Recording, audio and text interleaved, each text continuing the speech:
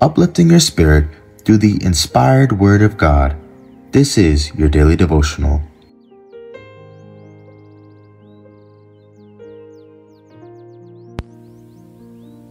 To be like Jesus, obey from principle. Wherefore, the rather, brethren, give diligence to make your calling and election sure. For if ye do these things, ye shall never fall. 2 Peter 1, 10. Eternal life is worth your all. And Jesus has said, Whosoever he be of you that forsaketh not all that he had, he cannot be my disciple.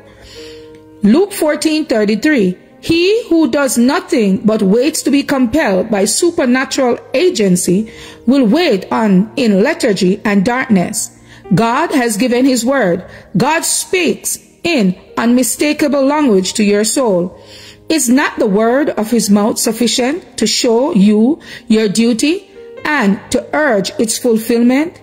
Those who humble and prayerfully search the scriptures to know and to do God's will will not be in doubt of their obligation to God.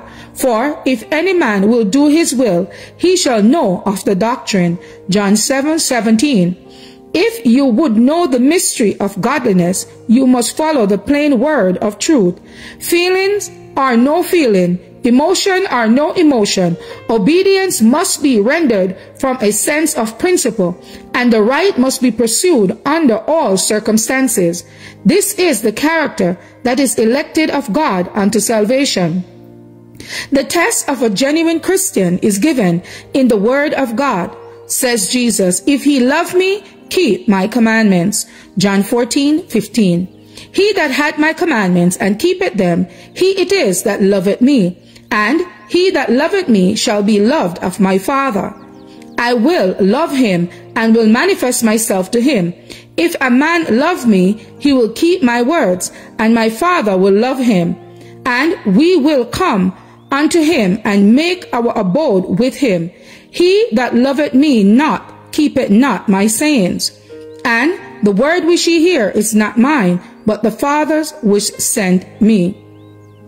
Here are the conditions upon which every soul will be elected to eternal life. Your obedience to God's commandment will prove your right to an inheritance with the saints in light. God has elected a certain excellence of character, and everyone who, through the grace of Christ, shall receive the standard of his requirement will have an abundant entrance into the kingdom of glory.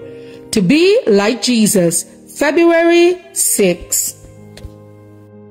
As for me and my house, we will serve the Lord. Thank you all for listening, and please join us once again tomorrow for your daily devotional reading. God bless.